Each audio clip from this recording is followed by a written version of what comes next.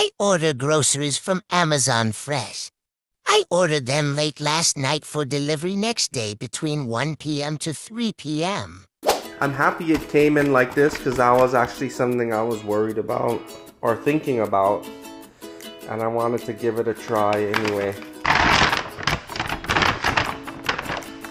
Okay, so this one doesn't have the insulation like the other one because this one is just some fruits. Peaches. That looks pretty good. So this one is not, again, one of those because these are dry items.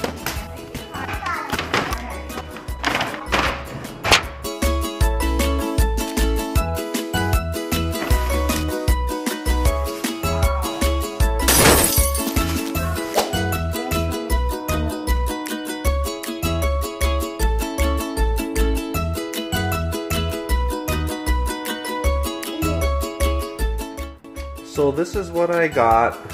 This is what I ordered to try.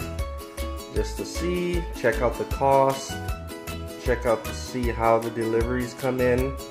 Everything's alright, but as you can see, most of these fruits are good, but this watermelon is too soft. It has a bruising over there.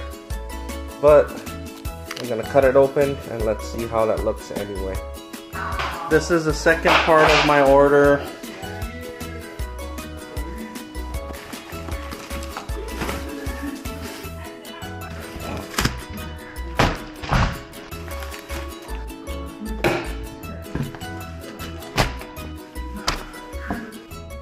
Look at this, guys.